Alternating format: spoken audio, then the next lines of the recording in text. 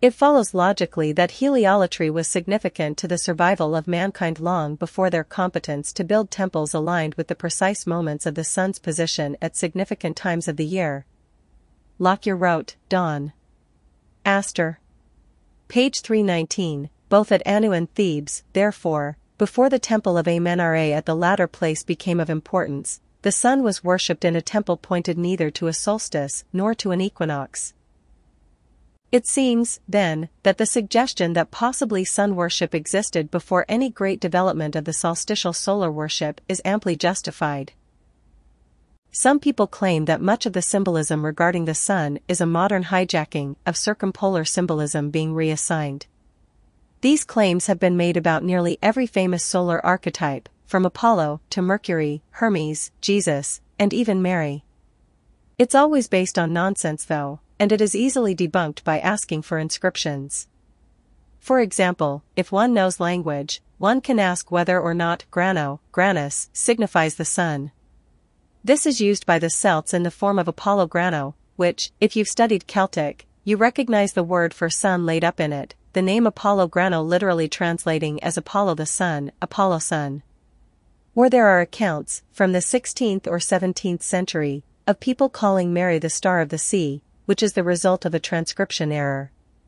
You can look up the Vulgate for yourself and you will find nowhere in Bible is Mary referred to as the star of the sea. I've addressed it ad nauseum.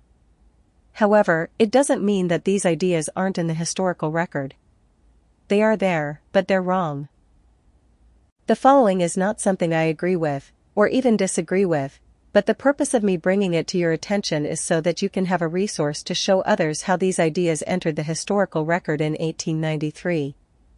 Lockyer brought up the possibility of the Temple of Mut allowing Gamma Draconis to be seen along its axis about 3200 BC.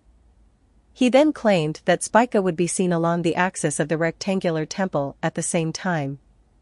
He may be correct in his calculations and claim that the temple system was the worship of men, otherwise read as Amsu, or Kem in ithyphallic mummy form.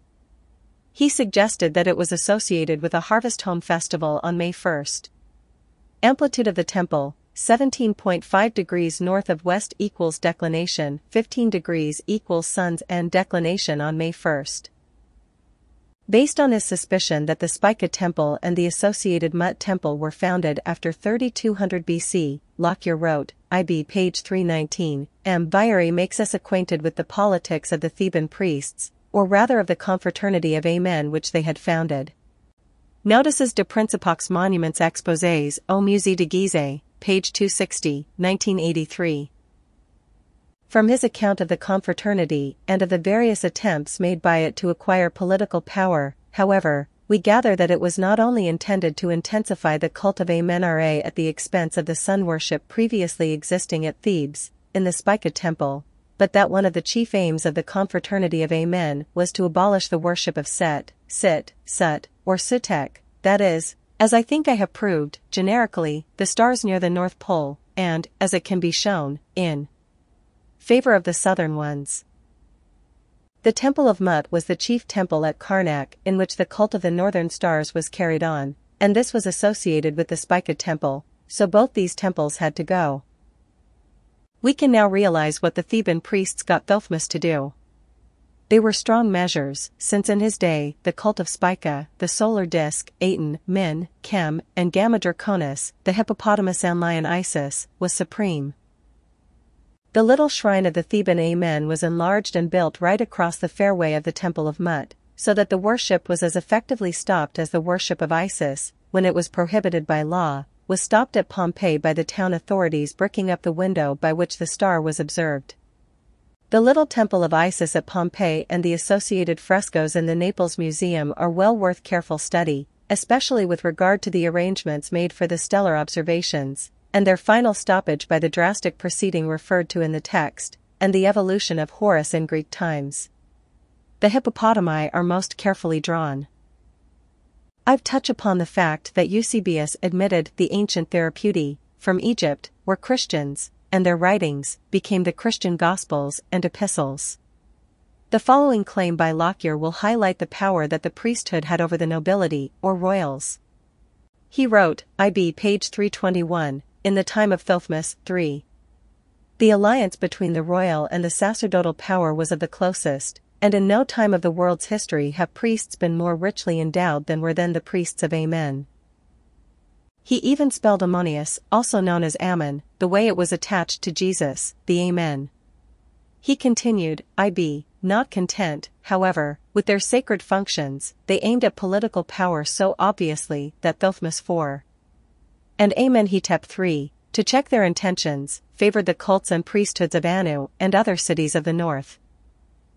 This is fascinating because, if true, it shows how easy it is for the powerful to become powerless at the rising of a priesthood or secret society in their culture, and how pervasive these orders become, which motivated Amenhotep III and his son Amenhotep IV to look for alliances out of Egypt, entering into diplomatic relations with the princes of Asia, according to Lockyer. Since I entered politics, I have chiefly had men's views confided to me privately. Some of the biggest men in the United States, in the field of commerce and manufacture, are afraid of something. They know that there is a power somewhere so organized, so subtle, so watchful, so interlocked, so complete, so pervasive, that they better not speak above their breath when they speak in condemnation of it. Woodrow Wilson, New Freedom. Lockyer wrote, IB, this brought him and the priests to open warfare. He replied to their anger by proscribing the cult of Amen, and the name of Amen was effaced from the monuments, still the priestly party was strong enough to make it unpleasant for the king of Thebes, and, to deal them yet another blow, he quitted that city and settled at Tel El Amarna, at the same time, according to the statement of M. Reviving an old Heliopolitan cult. He took for divine protection the solar disk Aten, which was one of the most ancient forms of one of the most ancient gods of Egypt, Ra of Heliopolis. Gizeh Catalogue, 1893, page 63. I have no idea about the dating of these alleged events or if they're historically accurate.